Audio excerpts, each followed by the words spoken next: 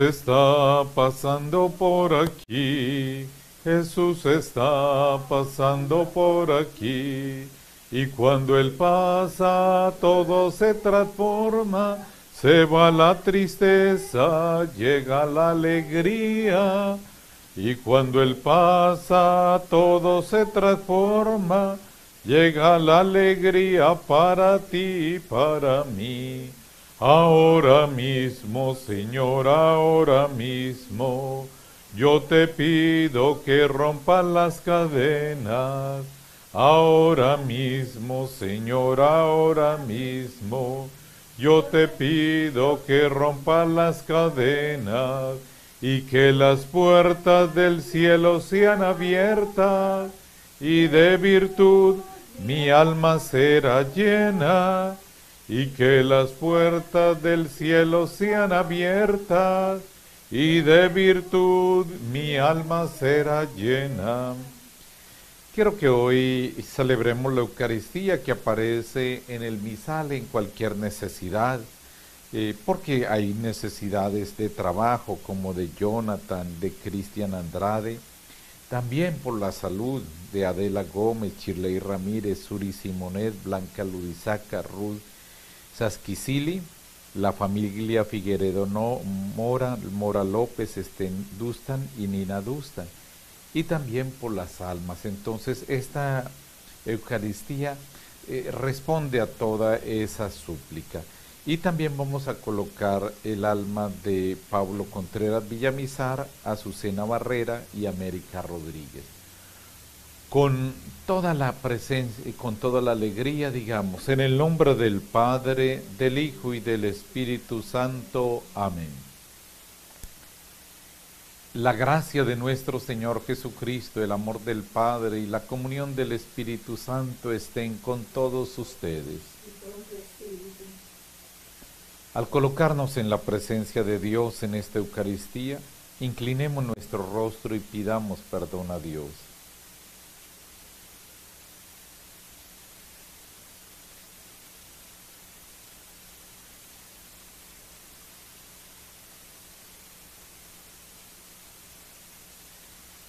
Ten piedad de mí, oh Señor, ten piedad, ten piedad de mí.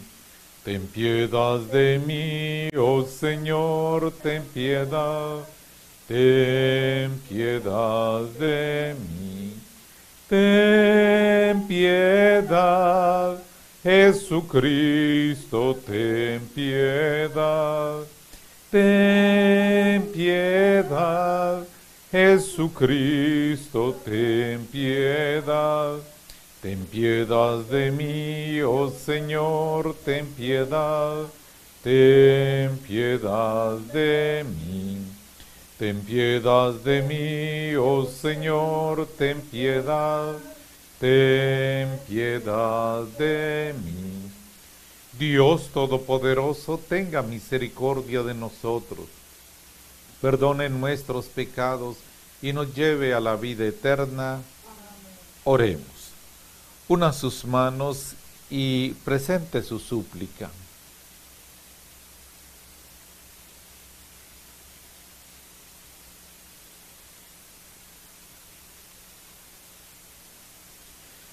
Dios Todopoderoso, lleno de misericordia, mira compasivo nuestras penas, alivia el dolor de tus hijos y robustece su fe, para que siempre confíen en tu paternal providencia. Por nuestro Señor Jesucristo, tu Hijo, que vive y reina en la unidad del Espíritu Santo, y es Dios por los siglos de los siglos.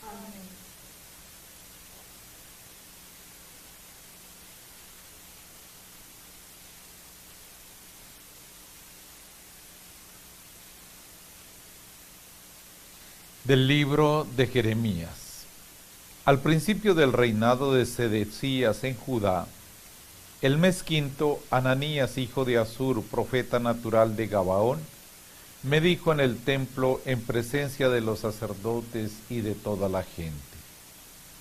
Así dice el Señor Dios de los ejércitos, Dios de Israel. rompo el, el yugo del rey de Babilonia. Antes de dos años devolveré a este lugar todo el ajuar del templo que Nabucodonosor, rey de Babilonia, cogió y se llevó a Babilonia. A Jeconías, hijo de Joaquín, rey de Judá, y a todos los judíos desterrados en Babilonia, yo los haré volver a este lugar, oráculo del Señor, porque romperé el yugo del rey de Babilonia. El profeta Jeremías respondió al profeta Ananías en presencia de los sacerdotes y del pueblo que estaban en el templo, y les dijo, Amén, amén, así lo haga el Señor que el Señor cumpla tu profecía trayendo de Babilonia a este lugar todo el acuar del templo y a todos los desterrados. Pero escucha lo que te digo a ti y a todo el pueblo. Los profetas que nos predecieron a ti y a mí desde tiempos inmemoriales profetizaron guerras, calamidades y epidemias a muchos países y a reinos dilatados. Cuando un profeta predecía prosperidad, Solo al cumplirse su profecía era reconocido como profeta enviado realmente por el Señor. Entonces Ananías le quitó el yugo del cuello al profeta Jeremías y le rompió, diciendo en presencia de todo el pueblo, Así dice el Señor, así es como romperé el yugo del rey de Babilonia, que llevan al cuello tantas naciones antes de dos años. El profeta Jeremías se marchó por su camino. Después que el profeta Ananías rompió el yugo del cuello del profeta Jeremías, vino la palabra del Señor a Jeremías. Ve y dile a Ananías, así dice el Señor, tú has roto un yugo de, de madera, yo haré un yugo de hierro, porque así dice el Señor de los ejércitos, Dios de Israel Pondré yugo de hierro al cuello de todas estas naciones para que sirvan a, Nabucodonosor, rey de Babilonia, y se les someterán. Y hasta las bestias del campo les entregaré. El profeta Jeremías dijo a Ananías, profeta, escucha Ananías, el Señor no te ha enviado, y tú has inducido a este pueblo a una falsa confianza. Por eso así dice el Señor, mira, yo te echaré de la superficie de la tierra. Este año morirás porque has predicado rebelión contra el Señor. Y el profeta Ananías murió aquel mismo año, el séptimo mes. Palabra de Dios. Instrúyeme, Señor, en tus leyes Apártame del camino falso y dame la gracia de tu voluntad. No quites de mi boca las palabras sinceras, porque yo espero en tus mandamientos. Vuelvan a mí tus fieles que hacen caso de tus preceptos. Sea mi corazón perfecto en tus leyes, así no quedaré avergonzado. Los malvados me esperaban para perderme, pero yo meditaba tus preceptos. No me aparto de tus mandamientos porque tú me has instruido. Ale, ale, ale, luya, ale, ale, ale, luya, ale, ale, ale, luya, aleluya. Aleluya. El Señor esté con ustedes. Del Santo Evangelio según San Mateo.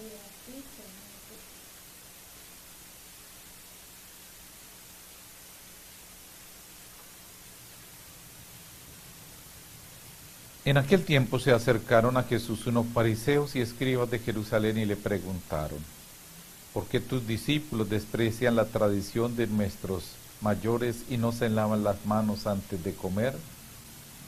Y llamando a la gente les dijo, escuchad y entended, no mancha al hombre lo que entra por la boca, sino lo que sale de la boca, Eso es lo que mancha al hombre. Se acercaron los discípulos le dijeron, ¿sabes que los fariseos se han escandalizado al oírte? Respondió él, la planta que no haya plantado mi Padre del cielo será arrancada de raíz. Dejadlo, son guías ciegos. Y si un ciego guía a otros, los dos caerán en el hoyo. Palabra del Señor. El Espíritu de Dios está en este lugar. El Espíritu de Dios se mueve en este lugar. Está aquí para consolar. Está aquí para liberar. Está aquí para guiar. El Espíritu de Dios está aquí. Muévete en mí, muévete en mí, toca mi mente y mi corazón, llena mi vida de tu amor, muévete en mí, Dios Espíritu, muévete en mí. Divino Espíritu de Dios, asístenos para meditar tu palabra. Amén. Estamos en Jeremías capítulo 28 del 1 al 17 y viene una enseñanza que sigue teniendo una vigencia muy gigante en medio de nosotros. El profeta de Dios y el profeta falso. Eh, aquí aparece entonces eh, el profeta falso que está ante el ante los sacerdotes de su época está dando una falsa profecía. Y este profeta se llama Ananías. El que está haciendo a través de su mensaje está predicando algo que va a suceder. Anuncia el fin de la primera cautividad. Y lo que desea es, es buscar la aceptación, el aplauso del pueblo y sobre todo un nacionalismo falso.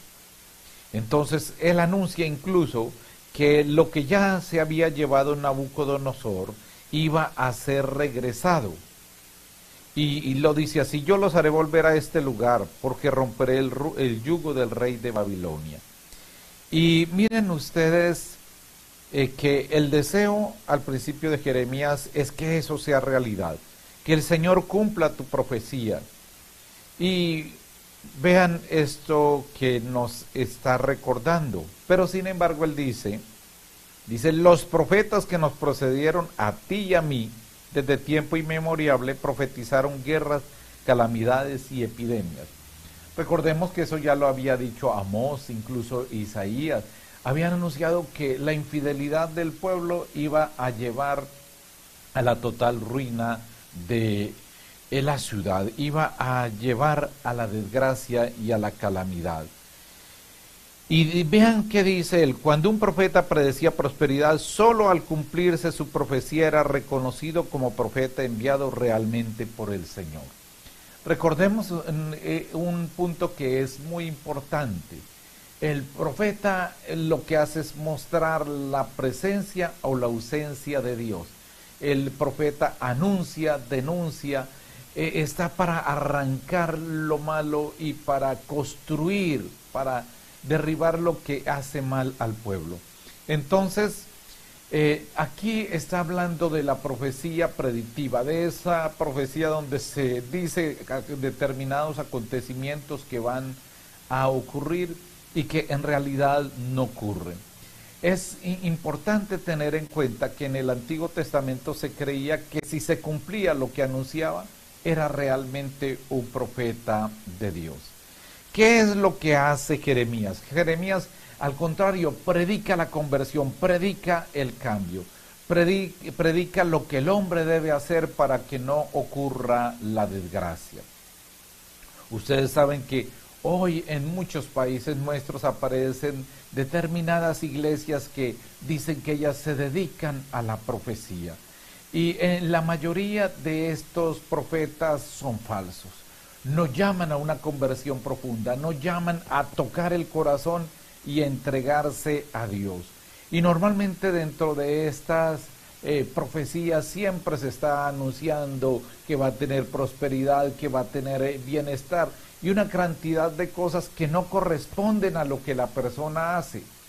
Tenemos que tener claro que nuestro futuro depende del actuar del presente, que nosotros mismos nos vamos labrando nuestro destino, no es que nuestro destino esté escrito y que venimos a cumplir ese papel en la vida, no estamos determinados por nada. Eh, lo que tenemos que tener en cuenta es que nosotros vamos eh, construyendo día a día esa, es, ese futuro nuestro. Por eso la salvación no ocurre al final de nuestra vida. En cada día o estoy eligiendo a Dios o estoy eligiendo el camino del mal y de la perversidad. Entonces la salvación es el resultado del día a día decirle sí a Dios. Claro, Jeremías eh, desea el bien para su pueblo, y cuando le habla aquí a Ananías no lo hace por envidia, eh, porque él lo que hace es escuchar a Dios. Y miren cómo de manera simbólica Ananías rompe el yugo de madera que tiene Jeremías, donde le decía que el pueblo iba a ir a la esclavitud. Y dice, así dice el Señor, romperé el yugo de Babilonia que lleva al cuello tantas naciones antes de dos años.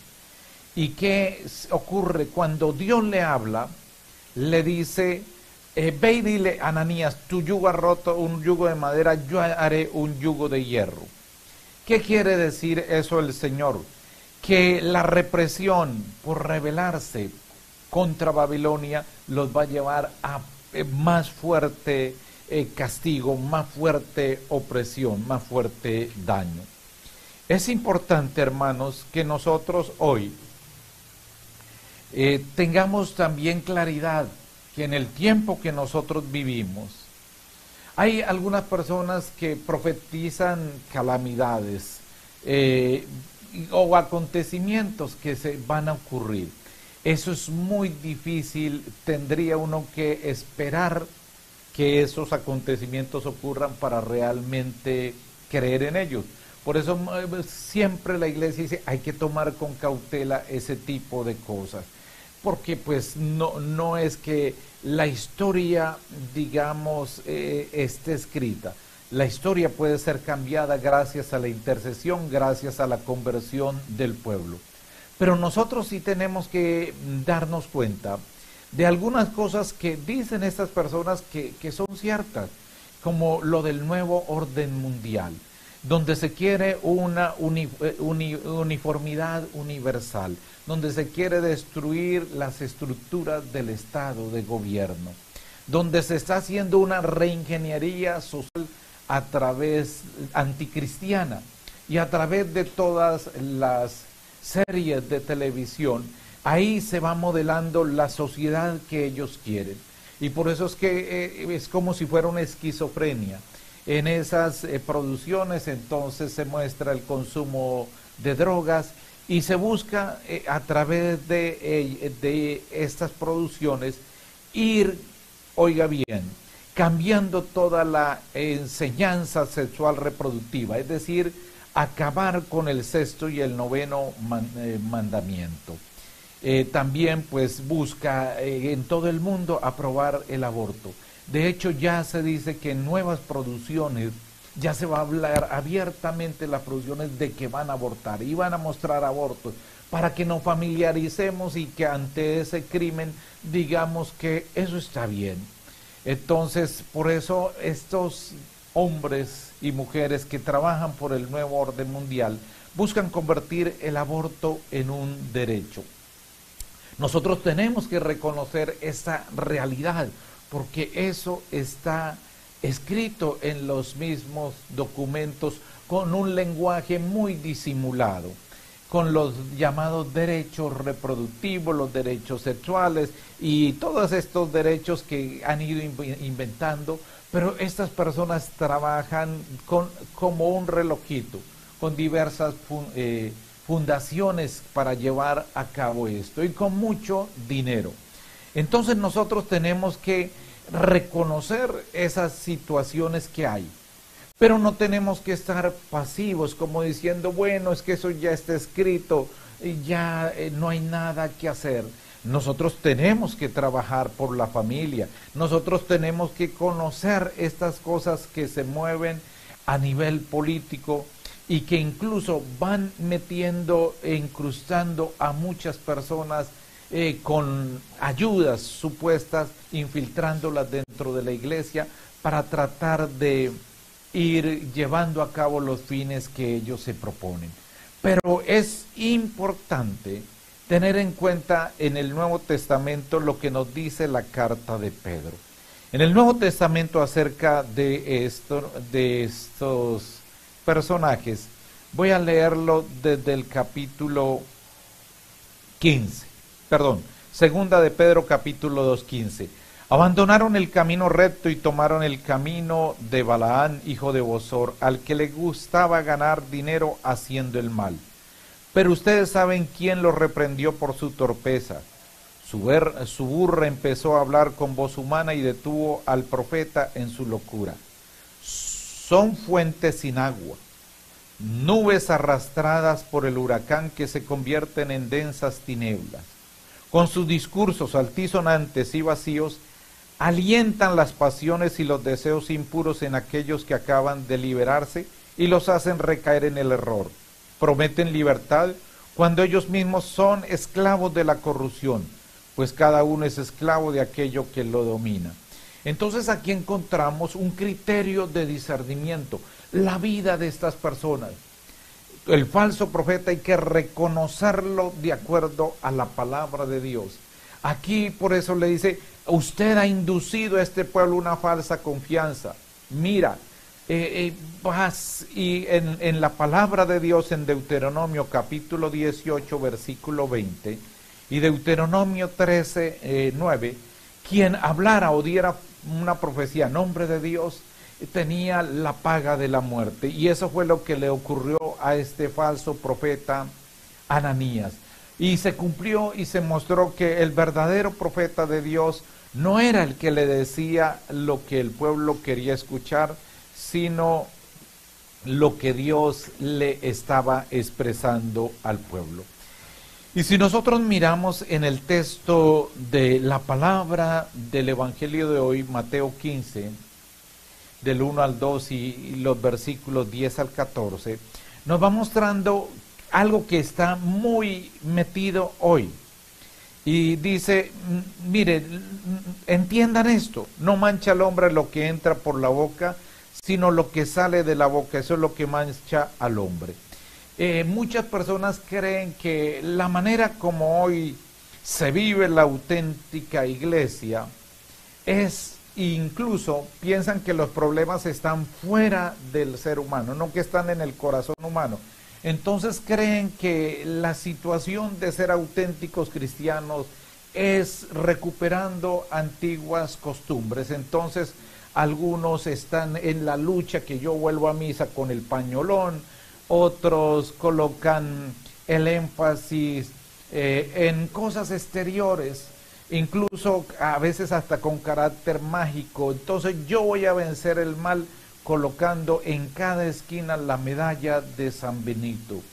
Pero no se dan cuenta que hay que trabajar en el corazón del hombre, porque de ahí es de donde sale lo malo. Y es muy importante que tengamos en cuenta eso que dice, dejadlo, son guías, son ciegos, guías de ciegos. Hoy hay mucha persona que ha caído en la ceguera espiritual, en la soberbia espiritual y pretenden eh, por eso fundar nuevas iglesias. Entonces eh, cometen sus equivocaciones, sus errores. Entonces ustedes ven cómo están surgiendo muchas eh, iglesias con sacerdotes retirados, con sacerdotes que tuvieron vidas un poco difíciles, que fueron echados de la iglesia, digámoslo así, suspendidos, otros que fueron seminaristas y por alguna circunstancia no los dejaron ordenar, entonces montan múltiples iglesias con diversos nombres, pero eso sí, la palabra católica tiene que ir ahí, porque pues hay que vivir de la credibilidad que han dado los santos y del testimonio de buenas personas. Hay que generar confianza. Entonces es necesario que nosotros eh, tengamos mucha claridad. ¿Por qué razón? Porque claro, ciertamente hay ciertos personajes que quieren eh, dar un cambio eh, del Evangelio, no un cambio del corazón. Entonces quieren predicar un Evangelio como decía aquí la palabra de Dios. Dice, lo decía, con sus discursos vacíos, alientan las pasiones y los deseos impuros. ¿Cuántas iglesias se han montado eh, incluso con, para casar a las personas del mismo sexo? Uno se pregunta, ¿realmente están en la palabra de Dios? Claro que desde el mensaje de Dios frente a estas personas debemos brindarle la caridad, el apoyo, pero no podemos decir que la homosexualidad no es un pecado, esa actividad sexual. Es decir, nosotros no podemos alimentar, eh, digamos, las pasiones, y no solamente las pasiones de tipo sexual del mismo sexo. Hoy encuentra usted muchas personas que están en adulterio y entonces le dicen, Dios te ama como tú lo conociste, sigue viviendo así. Es decir, no les dije ningún tipo de cambio en la vida interiormente. Alguien puede hoy hasta ofenderse con esta predicación y decir, este padre me está ofendiendo. Bueno, mi fin no es que eh, ofender a nadie, sino que usted analice si está cayendo en el relativismo moral o en lo que en, en, en, en toda esta propuesta del nuevo orden mundial de que hay verdades. Y cuando se dice que hay verdades quiere decir que nada es verdad que cada quien puede creer lo que le dé la gana, a su gusto, de acuerdo a sus grupos. Por eso es muy importante nosotros tener en cuenta eh, lo que dice segunda de Pedro 2.20. Y si, si estos que se habían liberado los vicios del mundo por conocimiento del Señor y Salvador vuelven a esos vicios y se dejan dominar por ellos, su situación actual resulta peor que la primera, más le valdría no haber conocido los caminos de la santidad, que después de haberlos conocido, apartarse de la santa doctrina que les fue enseñada. Mire, hermanos, y después finaliza con una cosa fuerte el texto. Se les aplica con razón lo que dice el proverbio. El perro vuelve a su propio vómito y el cerdo lavado se revuelca en el barro. Si usted ha hecho un camino de seguimiento de verdadera santidad, no deje que los falsos profetas lo vuelvan a encaminar a revolcarse en la misma podredumbre del pecado. La santidad no cambia, hermanos. Cambian las situaciones a través de las cuales nosotros nos hacemos santos. Esa es la diferencia. Pero por eso aquí el Señor nos pide discernimiento. Y si un, y si un ciego guía a otro ciego, los dos caerán en el hoyo.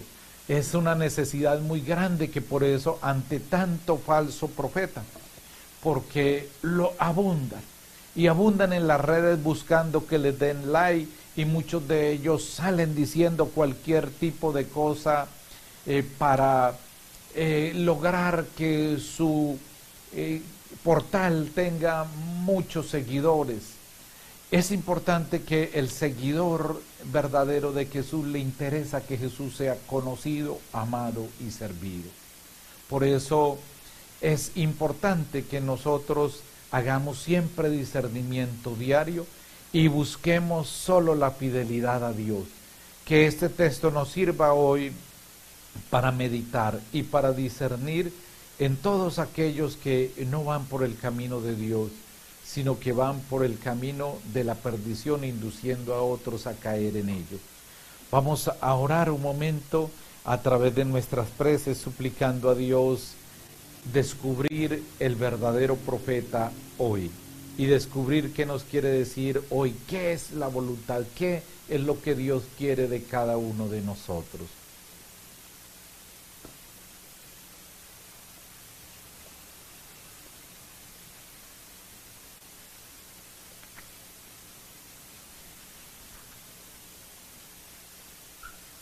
Hermanos, oremos en, estos, en este tiempo a nuestras súplicas con fervor e insistencia y decimos, te rogamos Señor.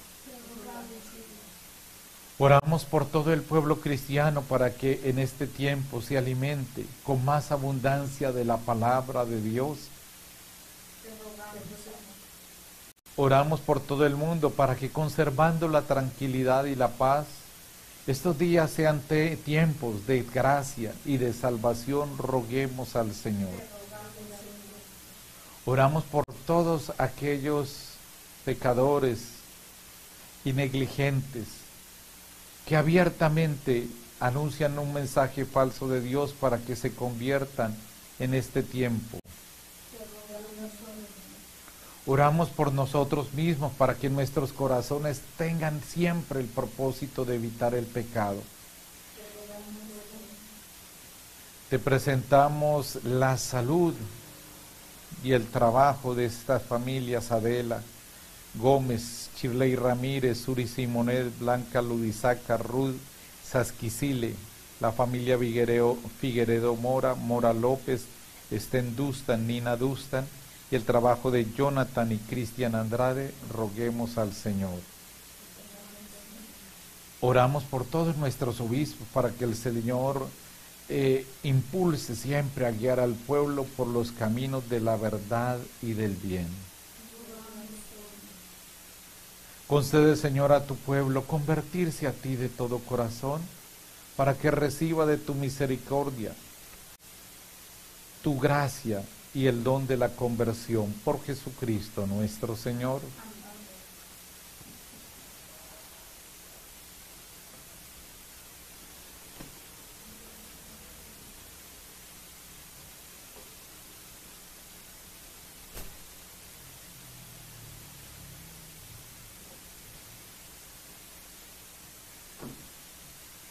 Bendito sea, Señor, Dios del universo, por este pan, fruto de la tierra y del trabajo del hombre, que recibimos de tu generosidad. Él será para nosotros alimento de vida.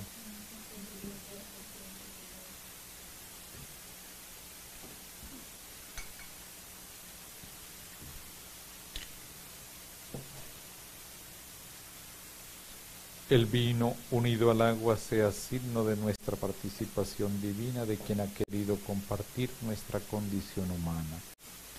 Bendito sea, Señor Dios del universo, por este vino, fruto de la vida y del trabajo del hombre que recibimos de tu generosidad.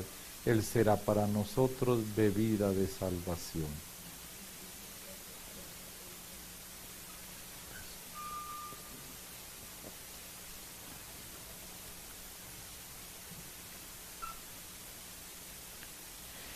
En el momento de ofrecer el sacrificio de la iglesia, oren hermanos a Dios Padre Todopoderoso.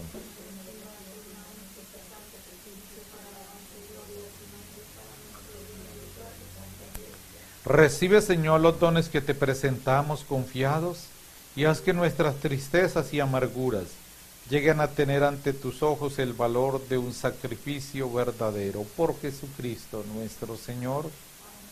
El Señor esté con ustedes. Levantemos el corazón. Demos gracias al Señor nuestro Dios. En verdad, Padre bueno, nuestro corazón está hoy, en verdad, Padre bueno, hoy estamos de fiesta. Nuestro corazón está lleno de agradecimiento y con Jesús te decimos con alegría, Gloria a ti, Señor, porque nos amas. Tú nos amas tanto que has hecho para nosotros este mundo inmenso y maravilloso. Por eso te aclamamos. Tú nos amas tanto que nos das a tu Hijo Jesús para que Él nos acompañe hasta ti. Por eso te aclamamos. Tú nos amas tanto que nos reúnes con Jesús como a los hijos de una misma familia. Por eso te aclamamos. Por ese amor tan grande queremos darte gracias y cantarte con los ángeles y los santos que te adoran en el cielo. Santo es el Señor mi Dios, digno de alabanza, a Él el poder, el honor y la gloria. Santo es el Señor mi Dios, digno de alabanza, a Él el poder, el honor y la gloria. Osana, Osana, Osana, Osana, Osana, oh Señor. Osana, Osana, Osana, Osana, Osana, oh Señor. Bendito sea Jesús tu enviado, el amigo de los niños y los pobres. Él vino para enseñarnos cómo debemos amarte a ti y amarnos los unos a los otros. Él vino para arrancar de nuestros corazones el mal que nos impide ser amigos y el odio que no nos deja ser felices. Él ha prometido que su Espíritu Santo estará siempre con nosotros para que vivamos como verdaderos hijos tuyos. Bendito el que viene en nombre del Señor. Con todos tus santos cantamos para ti. Bendito el que viene en nombre del Señor. Con todos tus santos cantamos para ti. Osana, Osana, Osana, Osana, Osana, oh Señor. Osana, Osana. Osana, Osana, Osana, oh Señor. A ti, Dios y Padre nuestro, te pedimos que nos envíes tu Espíritu para que este pan y este vino sean el cuerpo y la sangre de Jesús nuestro Señor. El mismo Jesús poco antes de morir nos dio la prueba de tu amor cuando estaba sentado a la mesa con sus discípulos, tomó el pan.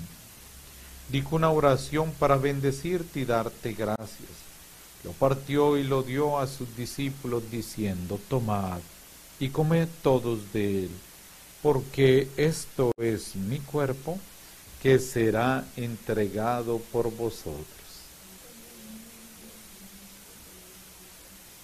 Decimos todos, Señor Jesús, tú te entregaste por nosotros.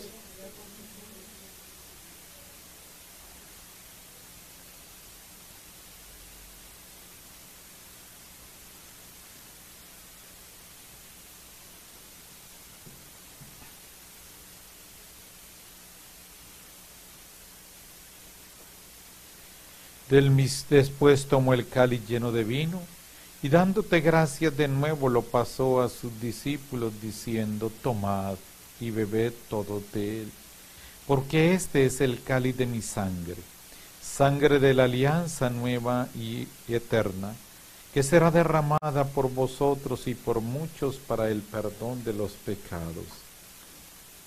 Decimos todos, Señor Jesús, tú te entregaste por nosotros y le dijo también, haced esto en conmemoración mía.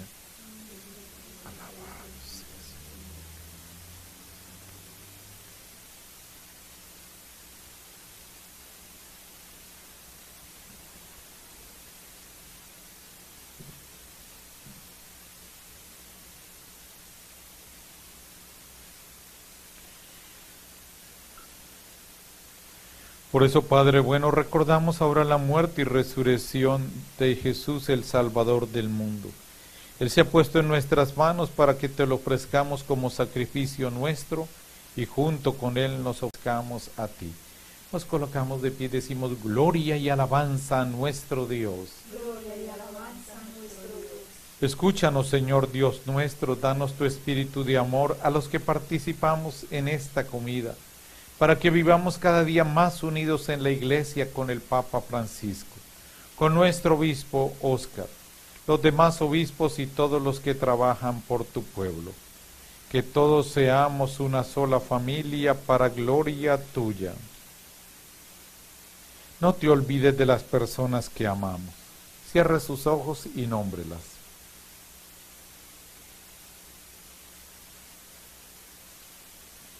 Ni de aquellas a las que debiéramos querer más. Acuérdate de los que ya murieron. Pablo Contreras, Azucena Barrera, América Rodríguez. Y recíbelos con amor en tu casa que todos seamos una sola familia para gloria tuya. Y un día reúnenos cerca de ti con María, la Virgen, Madre de Dios y Madre nuestra, para celebrar en tu reino la gran fiesta del cielo. Entonces todos los amigos de Jesús nuestro Señor podremos cantarte sin fin, que todos seamos una sola familia para gloria tuya. por Cristo, con Él y en Él, a ti Dios Padre Omnipotente, en la unidad del Espíritu Santo, todo honor y toda gloria por los siglos de los siglos. Amén. Porque necesitamos ser iluminados por Dios, Él es el Padre de las luces, así dice la palabra de Dios. Pidamos discernimiento al buen Dios dirigiéndonos a el Padre nuestro que estás en el cielo santificado sea tu nombre. Venga a nosotros tu reino, hágase tu voluntad así en la tierra como en el cielo. Danos hoy nuestro pan de cada día. Perdona nuestras ofensas, como también nosotros perdonamos a los que nos ofenden. No nos dejes caer en la tentación y líbranos del mal. Líbranos de todos los males, Señor, y concédenos la paz en nuestros días, para que ayudados por tu misericordia, vivamos siempre libres de pecado y protegidos de toda perturbación, mientras esperamos la gloriosa venida de nuestro Salvador Jesucristo. Señor Jesucristo, que dijiste a los apóstoles, la paz os dejo, mi paz os doy. No tengas en cuenta nuestros pecados, sino la fe de tu iglesia y conforme a tu palabra concédele la paz y la unidad. Tú que vives y reinas por los siglos de los siglos, la paz del Señor esté siempre con ustedes. Como hermanos, desen fraternalmente la paz.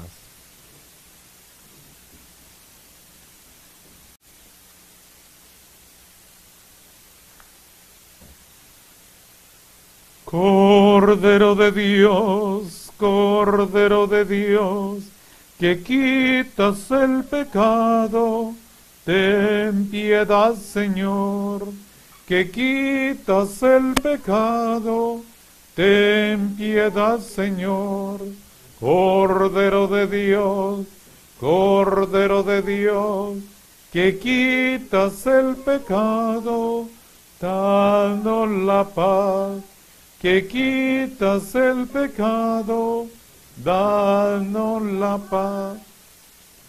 Este es el Cordero de Dios que quita el pecado del mundo. Felices, felices los invitados a la cena del Señor.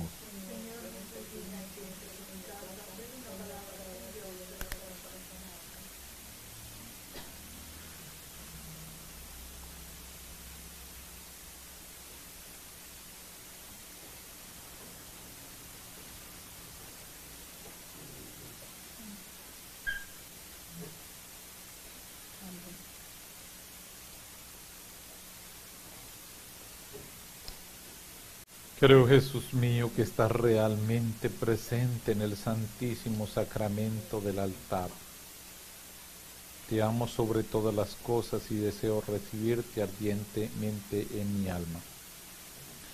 Pero como ahora no puedo recibirte sacramentalmente, ven al menos espiritualmente a mi corazón.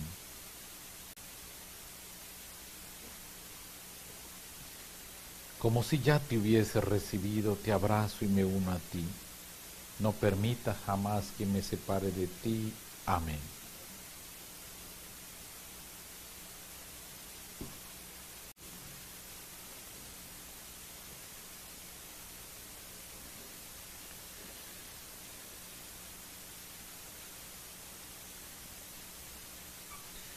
Oremos.